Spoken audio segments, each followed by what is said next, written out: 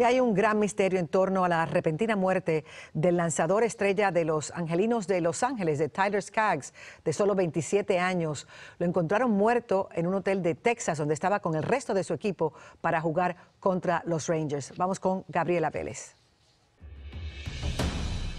Tras investigaciones por la muerte del jugador Tyler Skaggs, la autopsia practicada descartó que el suicidio fuera la causa de su muerte. Sin embargo, sus familiares solicitaron absoluta reserva de los detalles.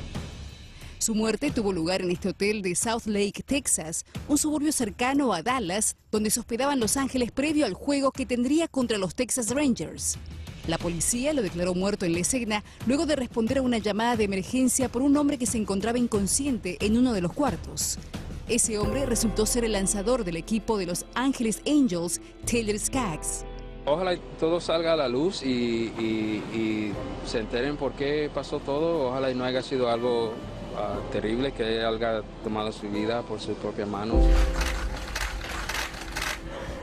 Esta tarde los directivos y compañeros del equipo en una conferencia de prensa se mostraron dolidos ante la pérdida de lo que ellos llamaron una gran promesa del béisbol y mandaron su más sentido pésame a la familia del jugador. Tyler se encontraba con su equipo en Texas para iniciar anoche la serie ante los Rangers, juego que fue cancelado al igual que el de hoy debido al deceso del jugador.